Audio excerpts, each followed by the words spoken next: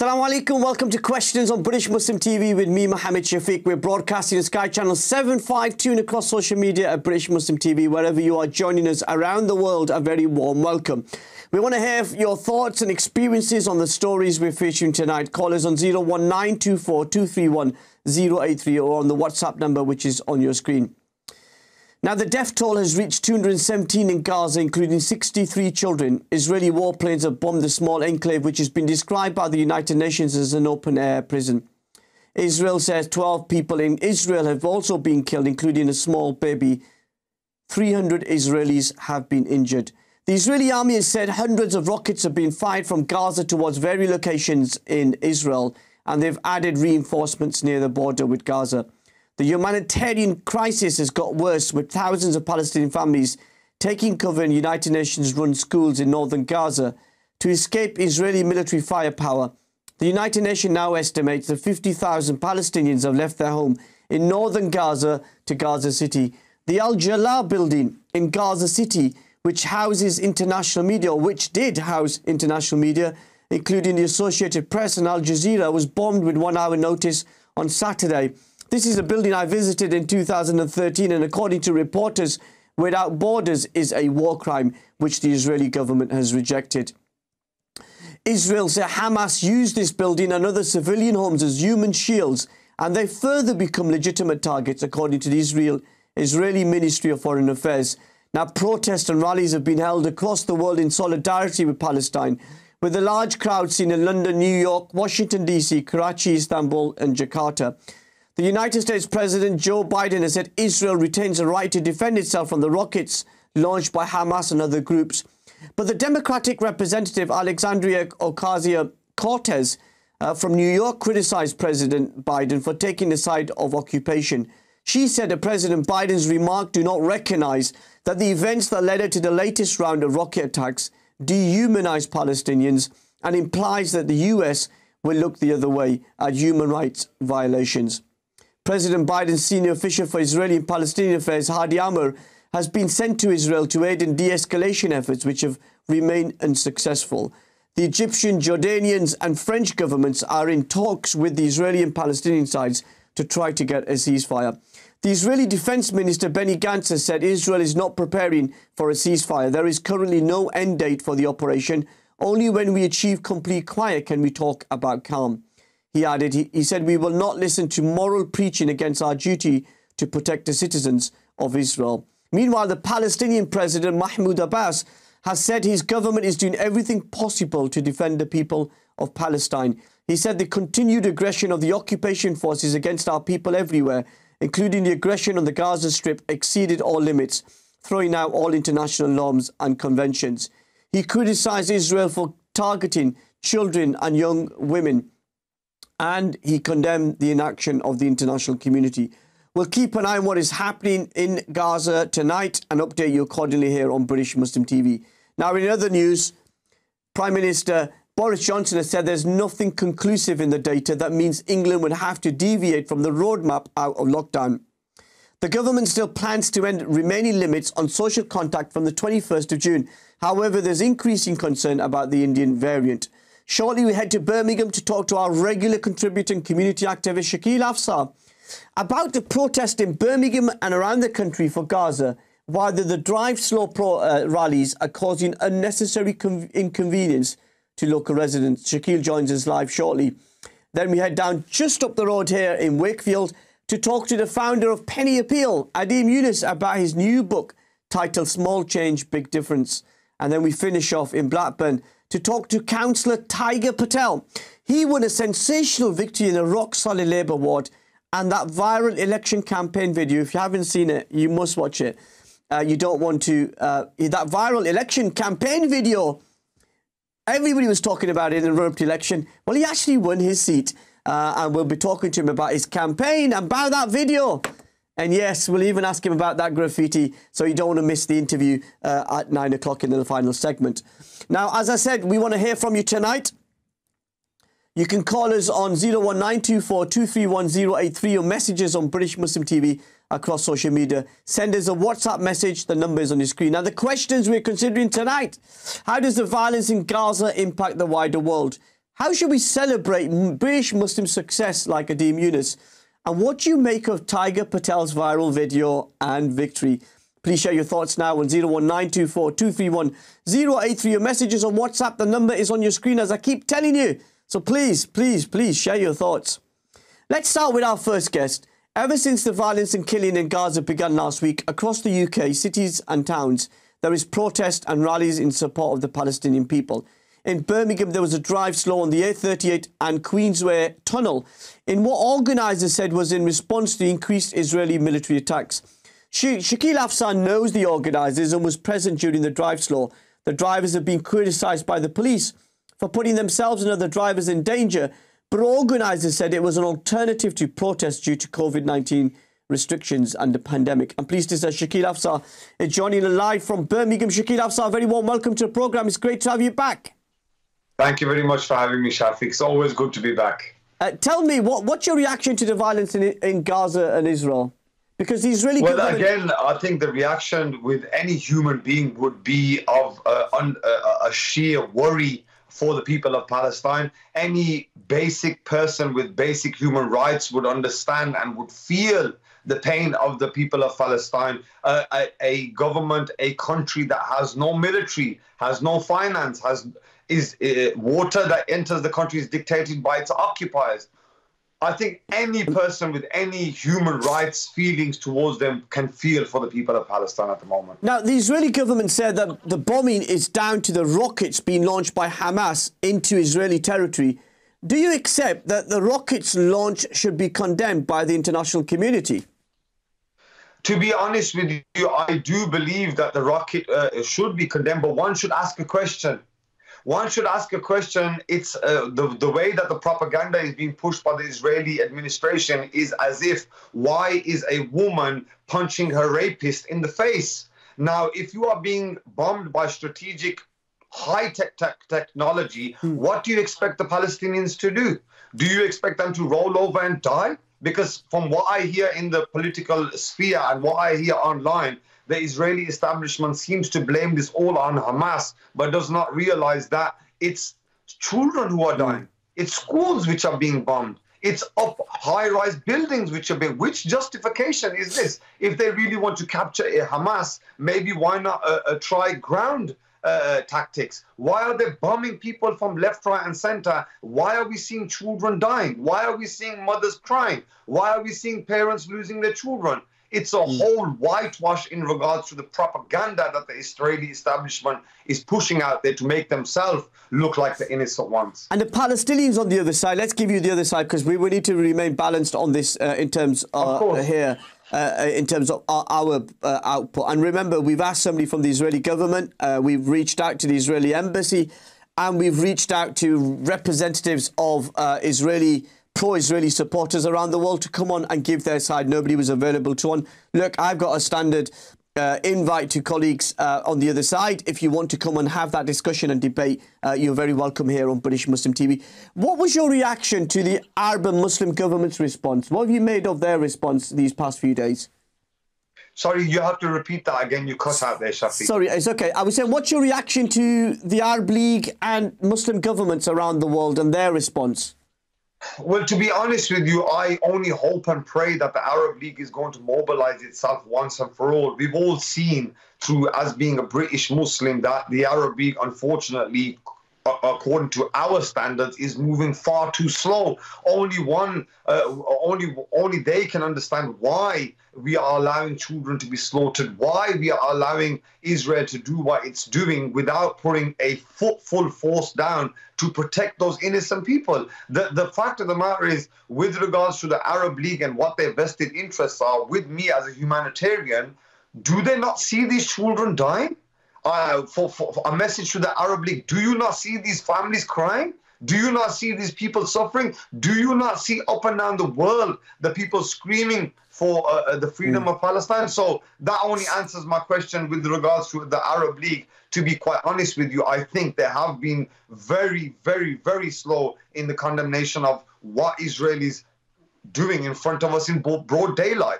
And we know this, a number of those countries have established relations uh, with the Israelis the, through the Abrahamic uh, Accords, the UAE, Bahrain, uh, Morocco, uh, and um, Sudan. Do you think uh, those countries are regretting that decision?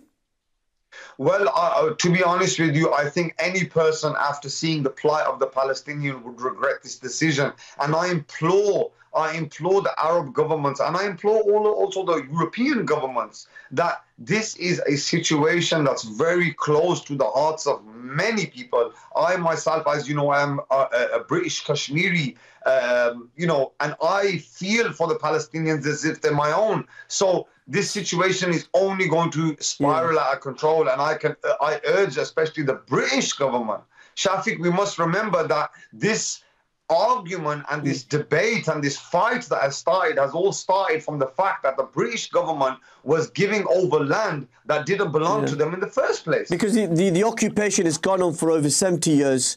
Do you think it'll ever end? Well, again, as as somebody from a community, the Kashmiri community, who has suffered also an occupation for around 70 years, we only hope and pray, Shafiq. We are from a background where we believe in hope, we believe in rights, and we will strive and struggle. We will strive and struggle through whatever comes our way, but we will not allow our values, our morals, and most most importantly, our beliefs in what we have as humans to be tarnished. Yeah, and what, what did you make of Keir Starmer, Lisa, Lisa Nandy's uh, response, the Labour Party's response? Again, with regards to the Labour Party, I feel the response was only put out there because of it was had to put out there. Because uh, I feel that the Keir the, the Labour leader's uh, uh response was very slow. Uh, you know, children knew what was happening with the Gaza situation, yet condemning it four or five days later and bringing it back down to uh, something in regards to the Labour leader and our uh, our Prime Minister Boris Johnson. We had the anti-Semitism issue in London, and everyone's willing to highlight that very quickly, which rightfully so they should do. But where is the voice for the Palestinians? Where is the voice for these people who are having three tons bombs dropped on them? Where are the voice for these children who are losing parents mm. and are becoming orphans? Where are the where is the human rights advocates? Yeah, well, we're going to explore that further with you. Uh, Shakeel Afsar, I know you're staying with us. Uh, John, uh, we're going to take a quick break. When we come back, we'll start the conversation again with Shakeel Afsar and we'll take some of your calls. Uh, please stay with us. Join us on the other side of these very important messages.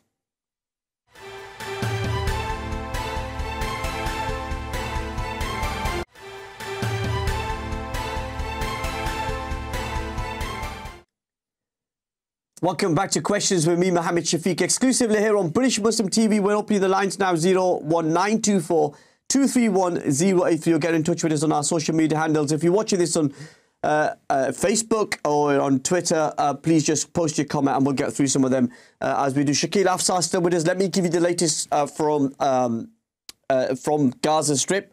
Um, at the moment, the death toll is now gone up to 227, of which there's 64 children and 38 women. Um, and, you know, obviously the, the, there's been 12 uh, people who've died on the Israeli side, uh, including a young child as well. So we can't forget uh, that life uh, lost as well. Uh, Shakeel Afsar is still with us. Uh, Shakeel, just before the break, we were talking about the Gaza crisis and the international response.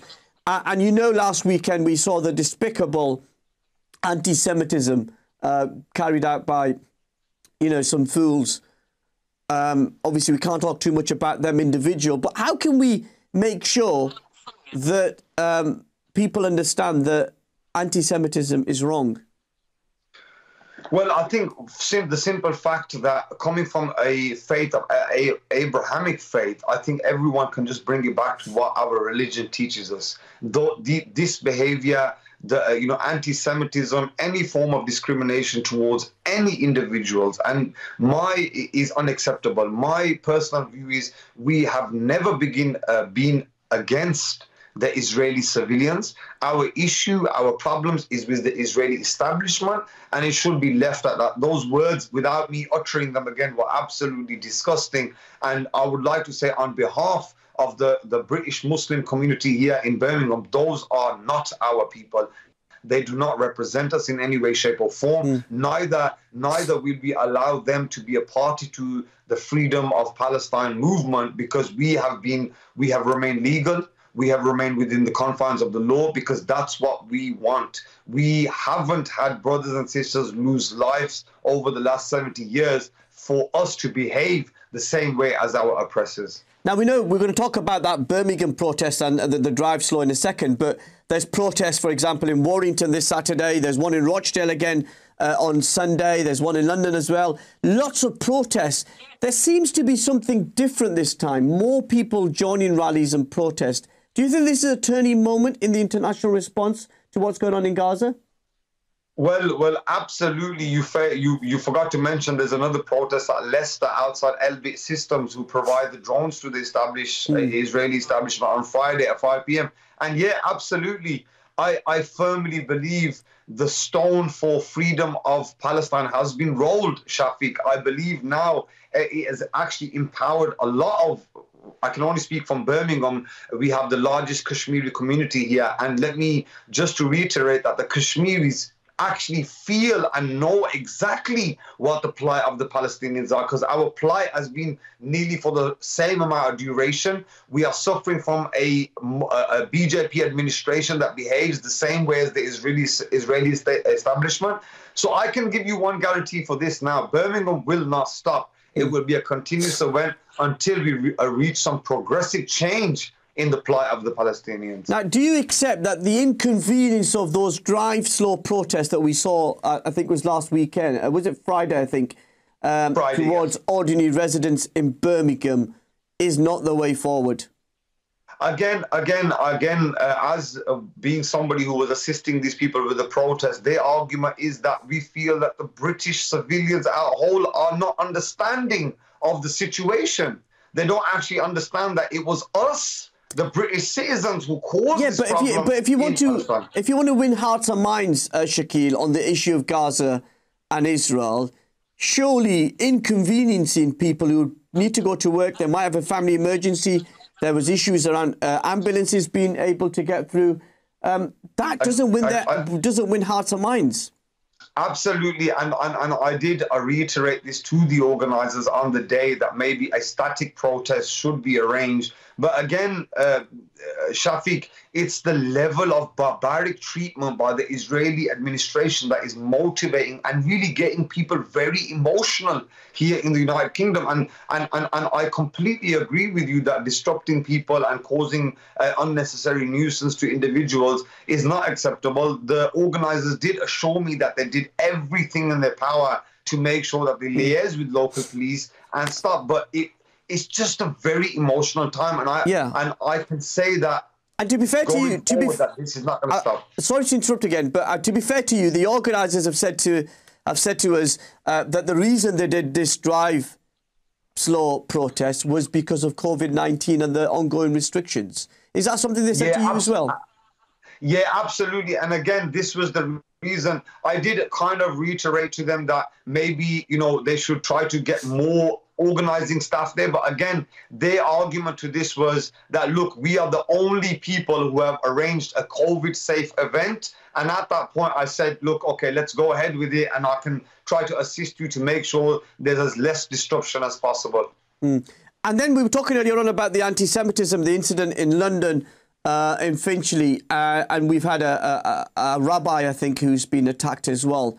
Um, and, and obviously the people involved in that have been arrested and charged. So we can't really talk about the case.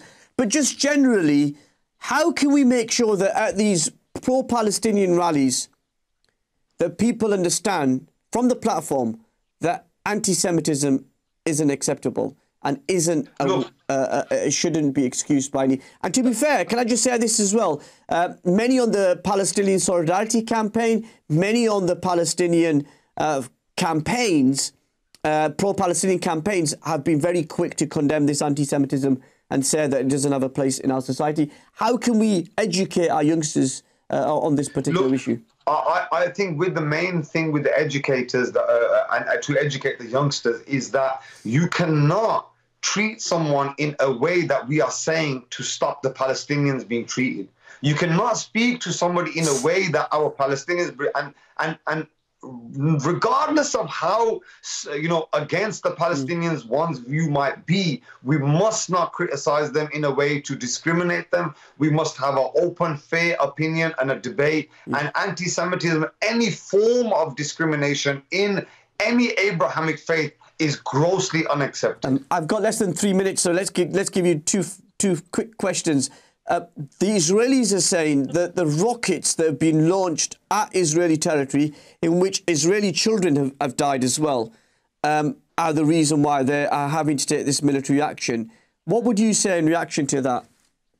I think my my simple uh, answer to that was that sounds a bit like as if why is the woman punching her rapist uh, sort of scenario. And I can only say that Hamas as an organization or the defense, you know, uh, we can only see that from what time, from what time in the years mm. that is uh, Palestine was taken over and how long after uh, Hamas was formed. So, you know, if somebody is going to be attacked, you cannot expect them to just die and roll over. They will defend themselves. And one man's freedom fighter is another man's terrorist, and another man's terrorist is another man's freedom fighter. Yeah, I think you're referring there to the great Nelson Mandela uh, quote. Oh, absolutely, yeah. Um, my final question, Shakeel.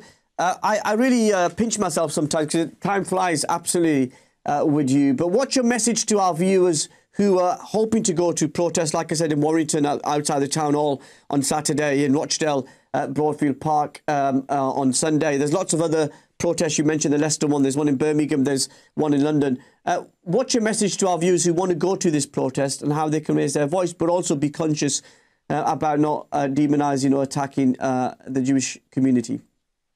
I think of the message that I would like to give everybody is when you are attending a protest, you must be respectful and not they are not our teachers. Regardless of those people, how they are treating our Palestinians, they are not our teachers. We must also always show that we are respect, respectable, we are understanding, and all we want is the freedom of our oppressed people. And a message to my youngsters, especially you know, jumping up and down and behaving in a way that you may seem is acceptable will damage the Palestinian cause. The best thing you can do and uh, for the Palestinian people is stand at a process and scream free Palestine. Contact your members of yeah. parliament, rally around people okay. who don't know about the Palestinian Thank you so issue. Much but but that is the it, it must be a respectful way because they are not so much. our teachers. Uh, great to see you. Thank you for joining me. Uh, Allah, uh, pray that Allah keeps you safe and your family safe. That was Shakeel Afsar, community activist and campaigner from Birmingham. We'll take a quick break. When we come back, we'll talk to Adeem Younis uh, live about his new book. Uh, join us on the other side of this.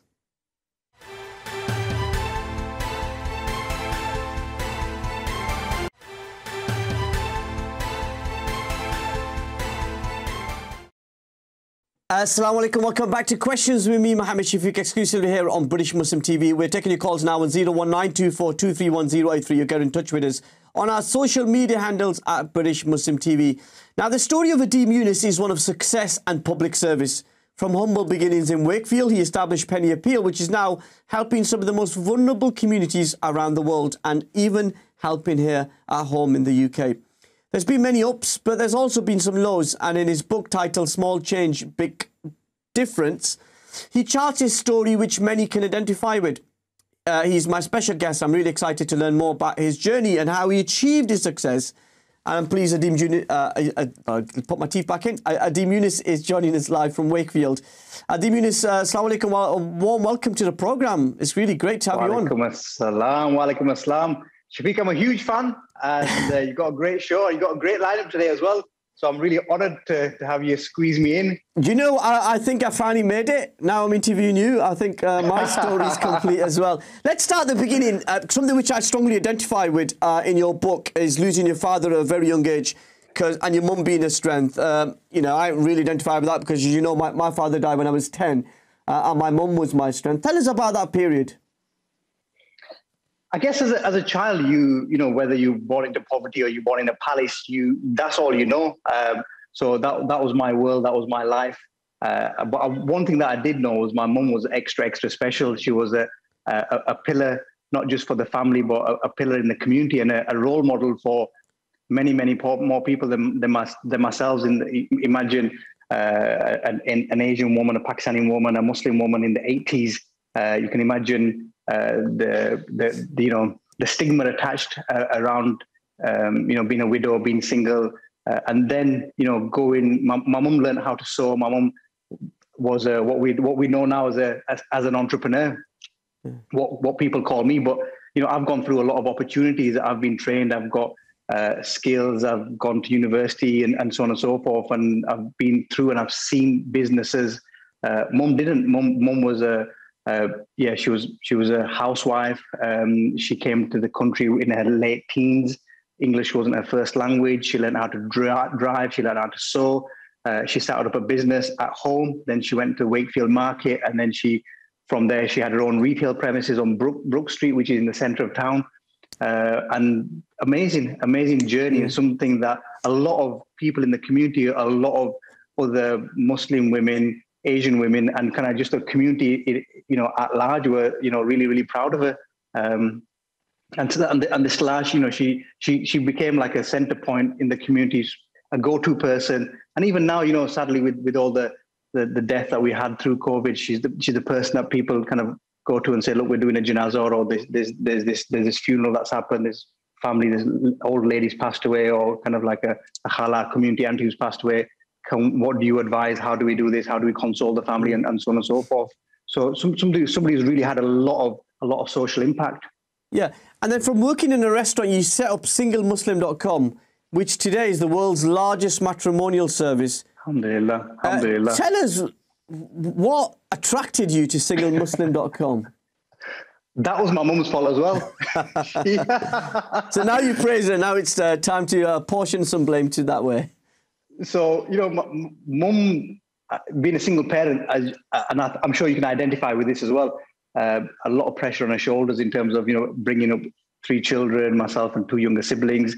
Uh, and you know, when when it came to the late teens myself, mom was like, you need you need to get married now. You know, what are what are what's local gonna say? What are people gonna say? You know, I've brought you up and I've tried my best, and now you need to go and set up your own family. You need to go do your own thing. Um, so you know, kind of, mom, what's the options? So and mom says, have you got somebody? I'm like, mom, of course I haven't got anybody. You know, all my life you've been telling me having a girlfriend is haram, it's not allowed. and now you're asking me if I've got somebody. He's like, eh, what's, that doesn't make any sense.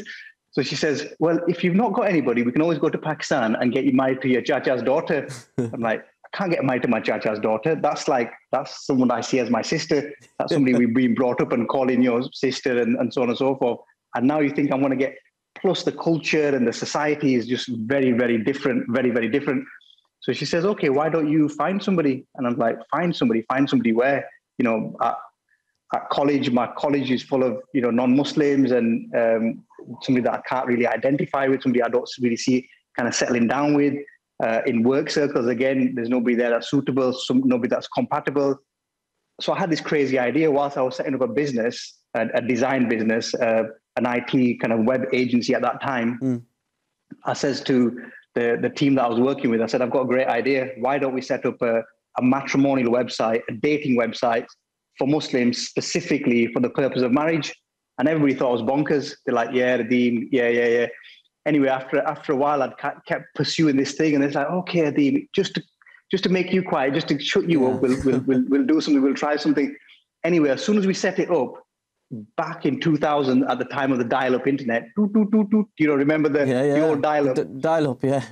And, and, people didn't even know what the internet was back then. As soon as we registered this thing, as soon as it went live, we started having registration straight away people who registered from, from the UK, from Germany, from America, from Australia, mm. all around the world. We've literally got a registration, well, hundreds, if not thousands of registrations from every single country in the world right now.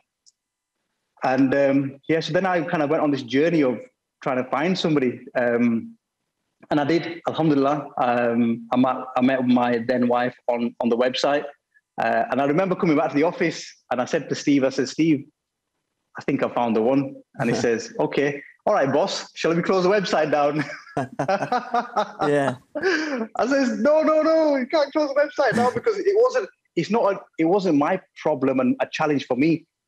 Finding a suitable, compatible Muslim partner, somebody of the Muslim Islamic faith mm. in the West, was actually a problem of a whole generation, was a problem of second, third generation. And still to this day, I feel the biggest challenge for Muslims is how to get married and how to keep married, you know? So it's, yeah, yeah. it's still very, very relevant now. And now, you know, it's so common.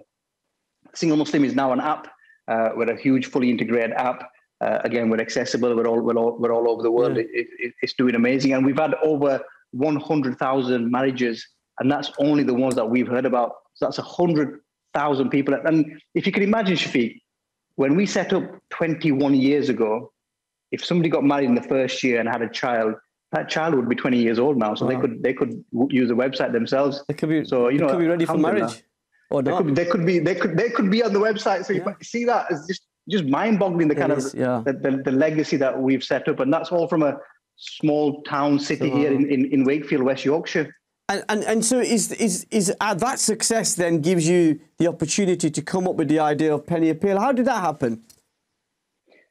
The idea for Penny Appeal is, yeah, basically it stems from that success. It stems from the fact that we were able to realize our kind of aspirations, our business goals, um, have financial freedom, have the ability to question ourselves in terms of what is life all about. Because you know, people spend a whole lifetime trying to get a career or kind of get to a get to a stage where they're settled, where they're financially free, where they're able to kind of like find themselves or explore the world. Uh, Alhamdulillah, Allah blessed us with something which was the dot com dream, basically the the digital dream, the ability to you know make money whilst we're sleeping on a weekend, on a bank holiday. Uh, and alhamdulillah, alhamdulillah, you know, it, the the question then arose in my mind that you know I lost my father when I was very young. What is the purpose of life? What is it all about? What what are we doing here? Um, and surely there's more to, to, to life than servers and Google and PPC and, and so on and so forth. You you you're, you're amassing this amount of money, but what are you going to do with it? You can only you can only sleep in so many beds. You can only eat so much food. You can only drive around in so many cars. What is it all about?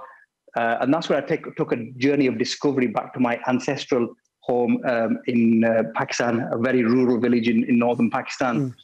And when I went there, initially it was a beautiful, tranquil, romantic location overlooking the hills. You know, the sun coming up in the morning, sun going down in the night, cock-a-doodle-doo, camels, buffaloes, and everything. But I realized that the reality was very, very different for the people that lived there. There was no roads, there was no running water, there was no gas, there was no electricity. And it was just a very, very harsh reality. If people didn't have the crops uh, that was that were kind of forecast for that year, they'd be in debt and they'd struggle for the whole entirety of next year. They might not come over that bad harvest for five, six years. And you know, if somebody somebody had a pneumonia here in the UK, if you have pneumonia, I say, Shafiq, oh, you're not feeling well. Yeah, I've got a pneumonia, I've been diagnosed. I'm going to go to the hospital. Oh, no, no problem, Shafiq. I'll see you. I'll see you Friday. I'll see you Saturday. If not, I'll mm. see you. I'll see you on Monday. In Pakistan, you know, small kind of minor illnesses like that mean that your family may never ever see you again. That, yeah. that might be fatal. That will kill you. We've got about. I've seen it with my own eyes. You know, people that have yeah. very very small illnesses that are that are no longer with us because of that. Yeah, we, have got about three minutes before the break. I just wanted to get this, get this question in. Uh, did you ever think at that time when you were setting up Penny Appeal that it would end up being a hundred million pound charity and helping change lives around the world so much? Never, never. Not in my wildest dreams did I think that the charity would get to. You know, I thought maybe we set up a, an orphan home, we set up a few wells, uh, we, we, will we'll help a few teachers, um, but that was it. You know, it wasn't it wasn't anything big at all. But to where we are right now, working in 56 countries, being one of the fastest growing, biggest charities in the UK, uh, having the impact that we have around the world, but also here at home, it's just phenomenal, absolutely yeah. phenomenal. You can you kind of shaked up the charity sector in that you're having to, you know, in your face sort of thing, um, just to get heard, uh, and that made a difference because you've helped change the charity sector uh, in the time that you've been on the scene. But I guess you know, for me, Shafiq, it was quite easy because we come from a digital background. We come from a background where that is what you do. You kind of have an online presence. Um, you, you, you target a, specific audience. Uh, you send out scheduled messages. You do a marketing in a, in a specific way. Uh, and that was at its prime. So we literally hit it at the right time where we are donor led. So if our donors, like for example, now sadly what's happening in Palestine, our donors want to support in Palestine. We are working in Palestine right now. We've sent a huge amount of money um, over the weekend, three hundred and twenty thousand pounds, which has been signed off, which has already been already been delivered to Palestine. Um, and you know, our donors are looking for the feedback. The feedback is coming in every single day uh, since the since these these, these new yeah. troubles uh, have, have come about. And that's what we did from from from day one. From when when Haiti, um, when earthquake happened in Haiti, we've had so many issues, so many global catastrophes that have happened around the world uh, and and and even even you know maybe natural, maybe kind of man-made and even at home, you know, we, we had we had the Grenfell disaster. Our teams were on the ground. Our volunteers were on, on the ground. The, the, the, the early hours of the morning after the, the, the horrific fires that yeah. happened there. Uh, what we're going to do, we're going to take a break, and when we come back, we'll continue the conversation with you, Adeem Younis, and learn more about that book that is causing waves in the British Muslim community, but also that breaking news coming in. Uh, Israeli media are now reporting that a ceasefire between Hamas and Israel have uh, potentially been agreed and will come into force on Friday afternoon. We'll give you the latest after the break, but stay with us and we'll continue the conversation with Adeem Younis. Uh, join us on the other side of these important messages.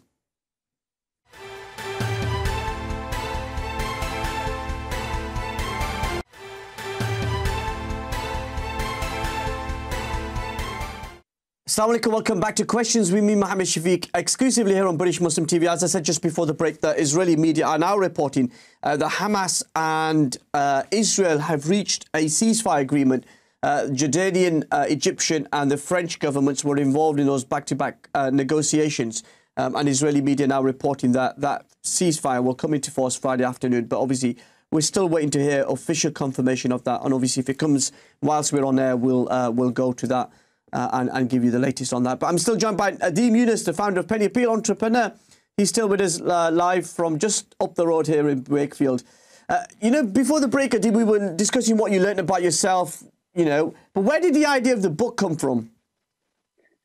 The idea of the book, I guess, I guess, came from the fact that Penny Appeal is the largest Muslim, British Muslim charity, but we're also the most misunderstood British Muslim charity, where you know people don't understand what it what it is, what is the DNA of Penny Appeal, what makes us tick, why we came about. Because I guess we were too busy building the work and doing the work and you know delivering the work um, and fundraising. So we were fundraising and you know delivering, but we didn't have the chance or the opportunity, or we didn't think think appropriate at, at the time to tell our story. You know, is our story that important?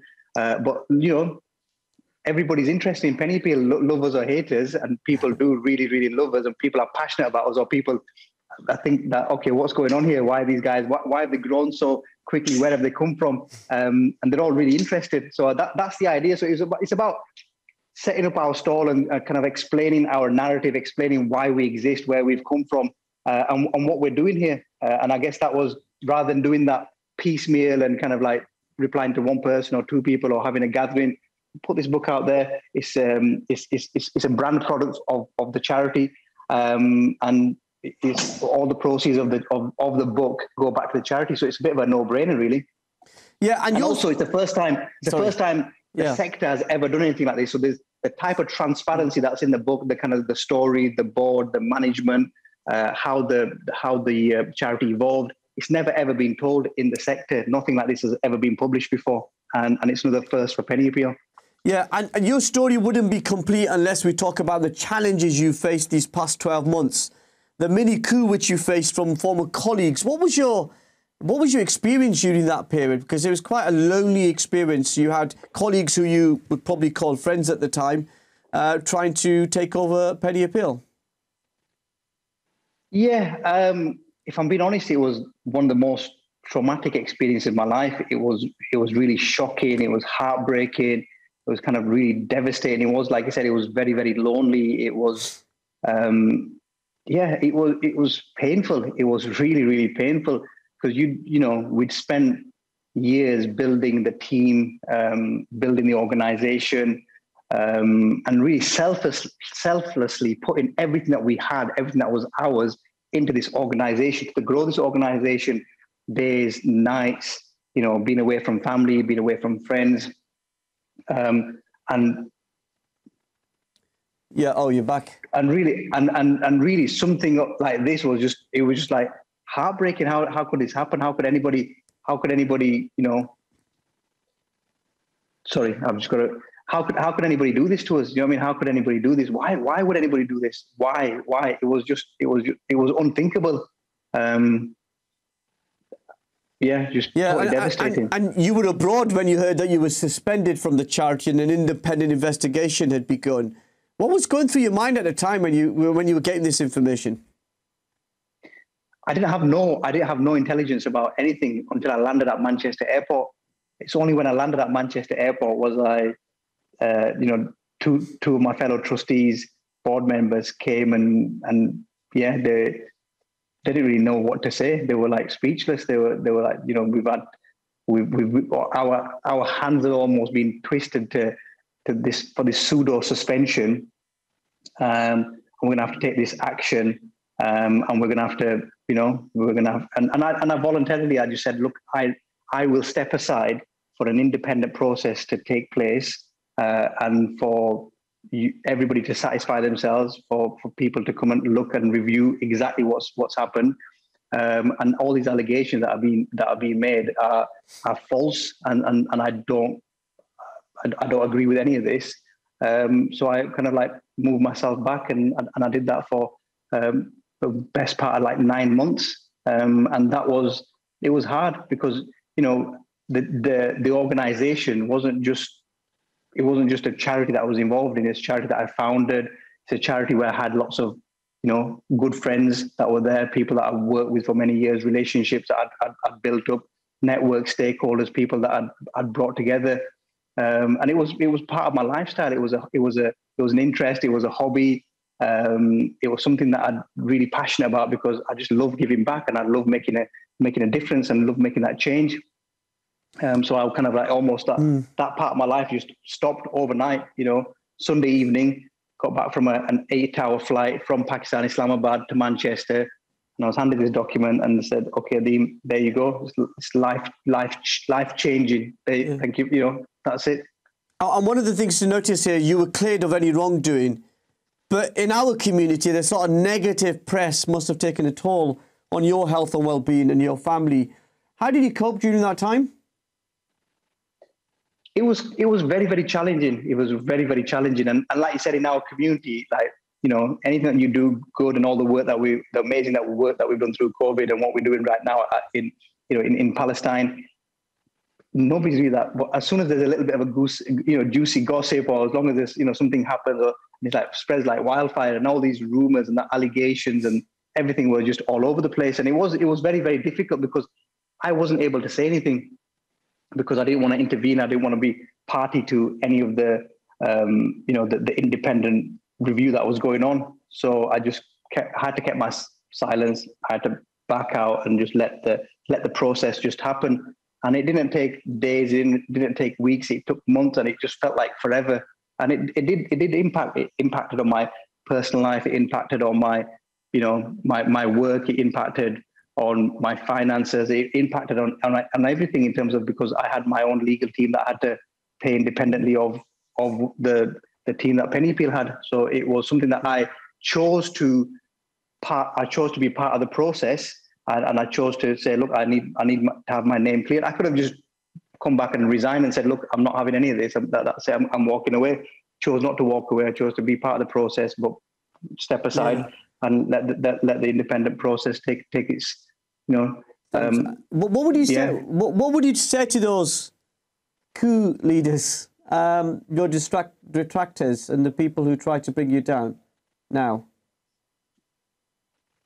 I think they were just misguided. I think they were just misguided and kind of like, you know, sadly, people just see things differently. People want power. They want more power. They want more influence. They want they want to you know they want to take over somebody else's hard work and they want to be able to do the things that maybe they're not they're not in the place or the position to do. You know we we set up as a team we set up as a as a community we set up as a movement. You know Penny Appeal was a movement Penny Appeal is a movement. Um, and you set out and when you set out and you've got nothing everybody works really hard but when, when you start building this thing and you see this thing and it's grown grown grown um, and, and and there's some individuals that are just want more. You know, this this is not enough, and I don't want to be part of this team. I just want to be. I want to have the whole team. Um, and Alhamdulillah, you know, people plan, man plans, and Allah plans, and Allah Allah is the best of planners. And Alhamdulillah, uh, it, it's just uh, you know, it's it's amazing to have gone through the process. And you know what? I've, I'm I'm I'm thankful. I'm genuinely thankful because I've learned so much through the process. I've learned so much about myself, about the resilience, about who my you know yeah true, I, I, was true friends and family are true supporters are people that have been there through you know good times and bad times thick, thick and thick and thin and it really does it does and, and i guess you know you you you learn a, yeah. a, a huge amount. You learn a huge amount. Alhamdulillah. Okay, and and then you use the investigations to make changes. Uh, obviously, investigation cleared you of any wrongdoing. You're back at the top of, of Penny Appeal, but those lessons are learned. What what are those lessons? You know, we we took we took full the, we did a report and the, the report findings are yet to come out and with all the, the the the guidance on the report and what we've learned in terms of you know improving our governance, improving our processes, uh, improving the, the the way that things are delegated throughout the the, the organization. Because you've got to remember, we start off we start off with nothing, and we've kind of put the we put our house in order. We put you know different departments together. We grew, then we grew again. We grew again. We carried on growing and growing and growing, and that sets up its own challenge. You know, that's that sets up its own kind of how does this thing actually work and where, and we've consolidated. We've expanded the, the trustee board. We've got you know uh, really strong specialist advisors in um, on, on a board level, on a senior leadership team level, uh, on, a, on a management level. Uh, and really, I think that the charity, for me, the organization has never been as strong as it is today. Um, and, and inshallah, the, the, the lessons that we've learned, the, the process that we've been through has, has toughened us up, has taught us, you know, where we, what we maybe have missed or what, where our blind spots were. And it's got us to really do a, a root and branch review of everything and come back and come back stronger. And those processes are, are, can only be better for us as an organization. Those processes can only be better for us to be able to deliver better, to, to be able to deliver more sustain, sustainable, to be able to deliver projects that have got more impact abroad, but also to have better feedback mechanisms and better processes and better governance here at our HQ as well. Mm. Uh, final question. Thank you so for, uh, thank you so much for being so honest with uh, with with me and the viewers. Uh, what lessons can we learn from the book? I think from the book and from the journey, it's it's about a power of the power of a dream, uh, and I guess the power of people and the power of what what we can do as a collective, and also what happens when we the unity breaks and when we're not a collective anymore, when when when when we have you know when we're not together, when we're not strong, and when, when we're not united, what happens then? And you know, we've as an organization, we've we've we've grown strong with the right people. We've grown strong in unity. We've grown strong because we've had a dream and we've believed in a dream, and we've had a real solid vision. Uh, and then when that's been impacted, and when there's been that uh, disunity, and what, what that what that's led to, and how that's impacted the organization, and and hopefully building this back up again, and and and, going back on you know starting almost like like a fresh. Um, yeah, yeah just so next basically chapter, isn't it? Power, power of a power of dream, and inshallah, you know, yeah. ne- next chapter and the, the start of the next book. Yeah, I, I was just going to say that I know the book's available uh, on various platforms, and all profits are going to Penny P, which in itself is quite amazing. Uh, Adeem Younis, thank you so much for joining us and sharing your journey with thank us. Um, I think when the story of the British Muslim community is written, you'll be at the heart of it, putting others first and inspiring millions around the world. Uh, thank you so much for your service and leadership, sir. Um, but I just want to uh, say I quoted uh, Channel uh, S, sorry, Channel uh, Israeli Channel 12 in that breaking news uh, that's claiming that a ceasefire. we're just waiting for the official response from the Israeli government. Once we get it, we'll bring it to you. Join us on the other side of this for Tiger.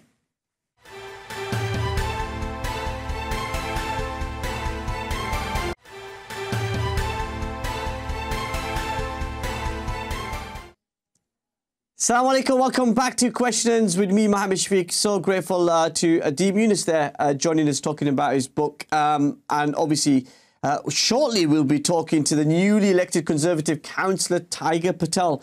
Uh, you don't really want to miss this conversation, uh, which is going to happen very, very shortly. But let me just give you a bit more information in regards to what is happening with this Indian variant that has been spreading these past few days across the country.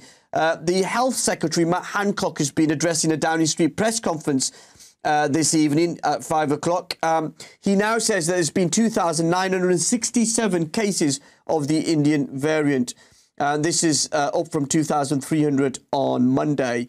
And obviously, this is down very much uh, to increased testing, lateral flow testing, but also PCR testing.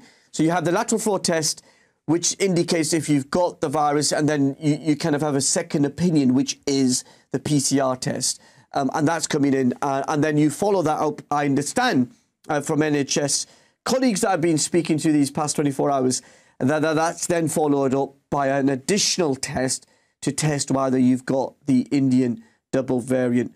Now, further surge testing and vaccination services will be introduced in the following areas uh, Bedford, Burnley, Hounslow, Kirklees, which includes, uh, let me get my uh, uh geography right. Kirklees includes, um, what is it? Kirklees is, um, it's Huddersfield, isn't it? Huddersfield and surrounding areas. Um, you would think that the people from Huddersfield would remind me that Kirklees is their local authority. But yeah, so it's Huddersfield and surrounding areas uh, with Kirklees. There's Leicester uh, and also now North Tyneside. Now, the, the health secretary has been saying they've been selected via an incredibly sensitive um, biosecurity surveillance system, which has been introduced, which spots the cases in early variant hotspots uh, like in Bolton and in Blackburn. And what they do is they monitor the travel um, patterns uh, and, and really look at where the variant is, is going. They do uh, they do tra- uh, test and trace, which is basically find out where people have been, so they can capture other people to make sure that they've been tested and been put on the safe side. Um, and the shocking case in Black, uh, in Bolton, that the weekly case data has now gone up to 283 per 100,000, and it doubled uh, just in the last week. And that's how serious it is. So our plea not just from the government, from Matt Hancock, but the government, but also I think from from his British Muslim TV to you, our viewers watching in Bolton, in Blackburn, and some of those other uh, counties and towns and cities I've told you about. It's time to get tested, even if you haven't got any symptoms. Get yourself tested, and what you'll then be able to do is protect yourself from this double variant, uh, which is known as the Indian variant. And then uh, what we will do is keep testing and then get yourself vaccinated. The evidence is clear. The vaccination helps protect your family, it protects yourself, and stops you from getting seriously ill. And so, lots of people who would end up in hospital and be on a ventilator, it stops that. You may get mild symptoms of coronavirus if you were to get it, uh, but it protects you from that serious, um, serious illness, which is really, really important. And that's why, uh, according to Matt Hancock, the health secretary, remember he's just responsible for health services in England, in Scotland and Wales and Northern Ireland. It's devolved. But in Bolton, there are 25 people who are in Bolton at the hospital, the Bolton Royal Hospital, uh, with COVID 19, with the Indian variant. And the majority of the people there in that hospital who've got COVID are unvaccinated. And some of them will be young people, but lots of them are people who are in the vulnerable category. And so it's touch and go with their lives. And if we can learn anything, it's how do we collectively, as a country, protect ourselves, our families, and our communities. It's no longer about politics and not about the anti vax debate. This is science proving that this vaccine protects communities. And one of the things I did uh, yesterday, um, I went with my wife for her second jab. She had her second jab yesterday. Um, and one of the really moving things about that, compared to the first jab that she had in January, was that the majority of people coming through the vaccination centre in Rochdale uh, were from an ethnic minority background. And that shows people now understand the severity of this virus and how important getting that vaccine is.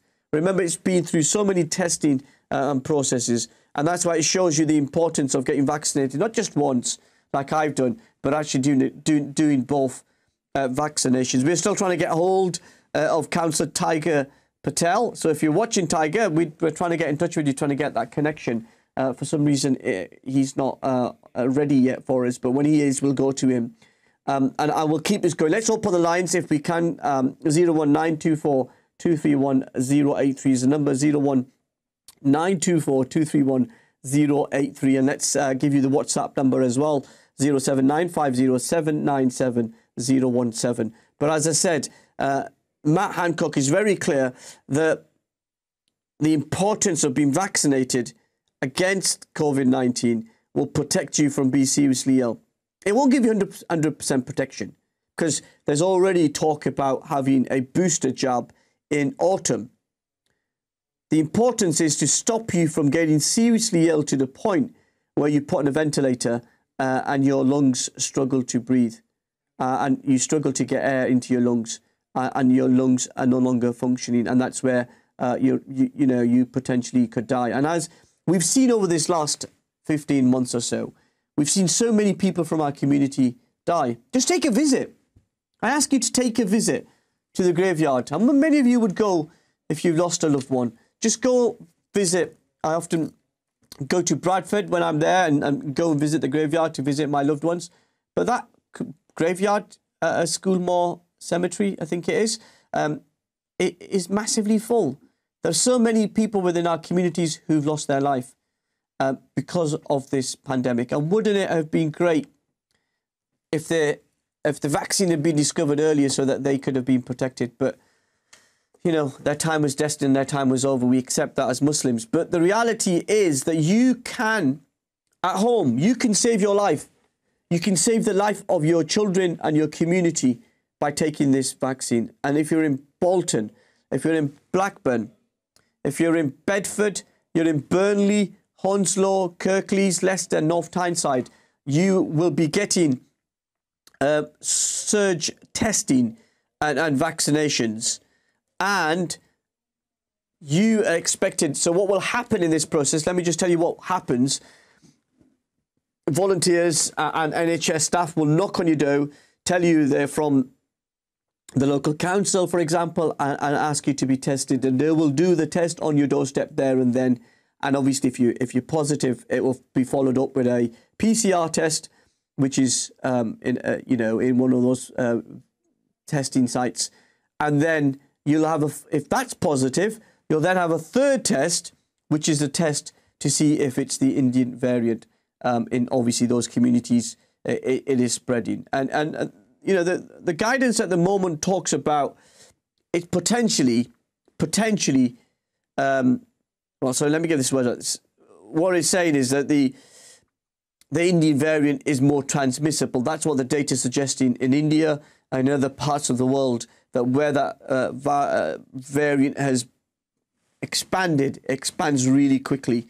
Uh, comparison to say the uh, first um, lockdown that we had and the first variant uh, of the coronavirus. Um, and what the Chief Medical Officer, Jonathan Van Tam, known, known as JVT, has said, he was at the press conference alongside Matthew Hancock, the Health Secretary. He said uh, they'll know, scientists will know more about uh, trans, trans, transmissibility, let me get my words correctly, of the new Indian variant uh, by sometime next week. Now, you know this, and I know this. For three weeks before Britain put India on the red list, I was saying to you, our viewers, why is India, which was getting 240,000 cases, of which many were of the Indian variant, why the government and scientists, health experts in this country, the decision makers, refusing to put India on uh, the red list? We saw cases in Pakistan, for example, reaching 4,000 four and a half thousand uh, in Bangladesh as well. And those countries put on the red list. Yet India wasn't put on the red list. And it took another two weeks, yes, two weeks, for Boris Johnson and Matthew Hancock and others in government to put India on that red list. So we ask the question why did it take two more weeks when that virus, the variant of the virus, of the coronavirus, was spreading like wildfire in places like Bolton and Blackburn. And Blackburn, the community that is so devastated by this coronavirus pandemic. Do you remember how devastating it's been in terms of how many people have had that virus uh, and the, the, sort of negative media coverage, if you like, of that town? And so that is something uh, which really concerns you. And so, why did it take two weeks? Obviously, the government will argue that they follow the science. They're waiting for that data to come in.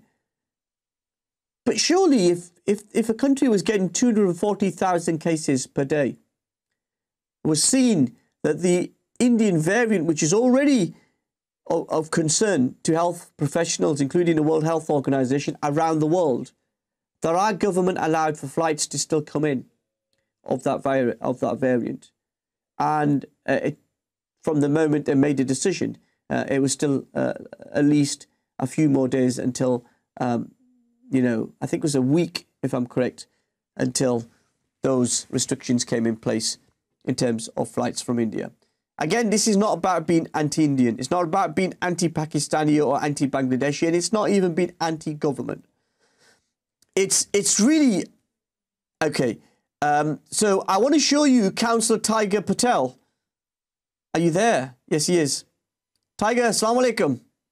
Walaikum salam wa rahmatullahi barakatuh. Good evening, everybody. How are you? I'm good, thank you. Uh, we've got about a minute uh, before we go to our break. I'm really glad that you uh, are here.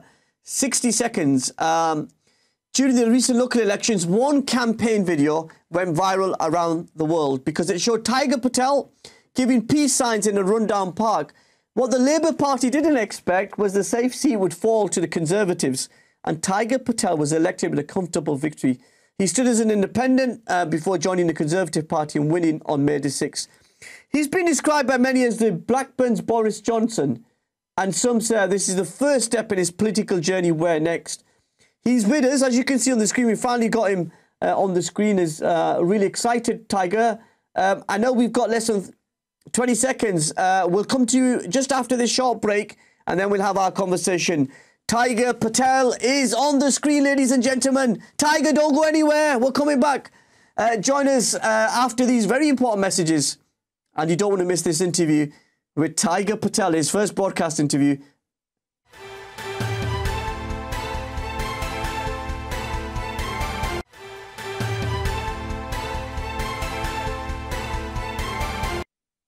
Assalamu alaikum, welcome back. I know you don't want to hear me. You want to see and hear from Tiger Patel. He's joining us live now from Blackburn. Uh, Tiger, a very warm welcome. First of all, congratulations. Wow, you pulled off uh, what was uh, a very surprise victory there for you.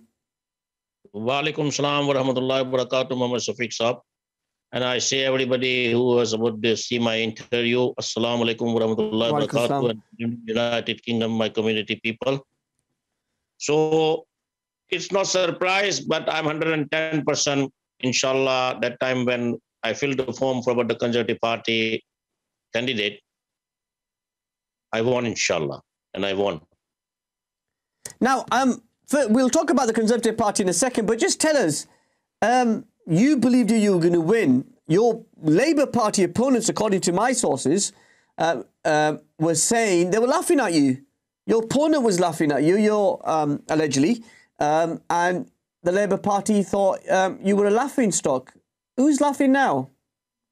Uh, they are not laughing now. They are now serious because you know when I get the result and I won and I do the good work with the community people, but they are now serious. They are not now laughing. Yeah. Okay, so l- explain it to me in a, a simple uh, language, Tiger. What does it mean to be a member of the Conservative Party? Why are you a Conservative? I'm a conservative candidate and I won this election about this in my Audley and Queen's Park ward.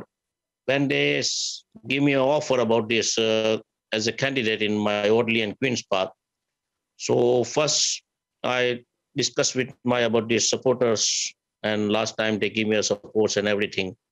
So they say about the much better than you stand for the independent. So you stand about the one party, Hmm. and the national party. So you get the good advantage from Yeah. the they have party votes, and you have uh, friends, family members, and people know you very well. Yeah. The surrounding area where I living. So, does, so, so not anything in particular attracts you to the Conservative Party, just the fact that you wanted to win. Yeah, I love your honesty. Thank you. honest- Um, honestly, yeah. Yeah. I, well, you know what? I, this is this is what politicians watching this around the world. Yeah. This is what you need to learn. You need to be honest with your Yeah, voters. honest, honest. And you're Honest, I'm- honest, Tiger Patel, and I salute you, sir, for being so honest. Just tell us, where did the idea of this viral video, if you haven't seen it, you've got to see, where did the idea of the video come from? Is this this idea from about the coming from about this, you know, United Kingdom president about the Boris Johnson, Bojo, and about the when I watch about the Imran Khan in Pakistan election that time he was against the Nawaz Sharif. So I saw about the videos, they sent the message, WhatsApp and Facebook and Twitter and everywhere. Then I thinking about the in 2018, I made some videos. And after I lost election in 2018, but I made about the videos for about the when I work, when I showed about the something in about the different thing. So people appreciate and people is about the happiest when they saw my video and council work when I showed the video and everything. So this time I made a different way and I got a good result because over 2 million people watch my video. So I get a good result. You did. Good response from the community. Yeah. Um, and, and look, the question everybody's asking you I know you might have spoken to the broadcasters, but you're live now on British Muslim TV in a, in a, in a world exclusive interview since you got elected. Did you know about that naughty graffiti on the video? No, this is about the, you know, my cameraman innocent mistake. So you didn't know? You know when, no, no, no. Because, you know, when, when we release about this video and they, some somebody is putting about this uh, Twitter and Facebook and uh, and because the Labour Party is in Blackburn, they always watch my video very very serious, yeah. and they when they see about this graffiti writing, and they put the marking and they send to the viral for about everywhere. Oh tiger, oh tiger, this tiger, do tiger. And Asian Image reporter who was asked me questions same mm. time when he was ringing me, and say this is my cameraman innocent mistake we don't know about this one yeah okay that's and you know the this graffiti writing and everything is everywhere on the garage in this park and you know when i visited this time so i ring to the council and i say please you put the paint here because yeah. you know the family is coming there in the okay. park and everywhere. Yeah, yeah. I know we're going to talk about uh, talk about the voters uh, and that, but the, so so the fact that you weren't aware of that, it was an innocent, uh, uh, overlooked, if you like. Now, I know you've uh, happy to take some questions, so we'll open the lines. Let's take some of your calls, 01924231083. Let's go to line one. Assalamu alaikum.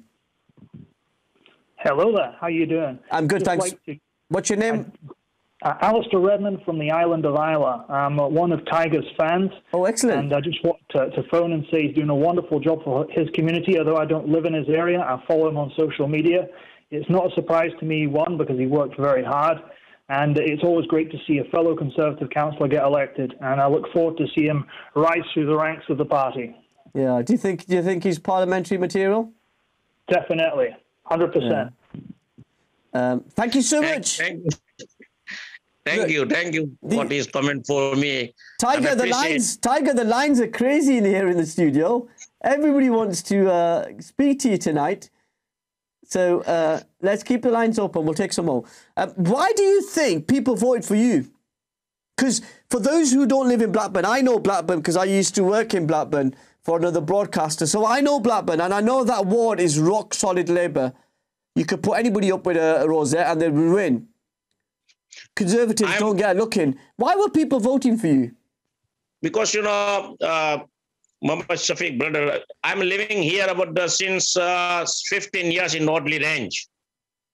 And I pray namaz in the masjid because uh, when I'm living here, the, the five masjid is there. And I have a lot of taxi driver friends.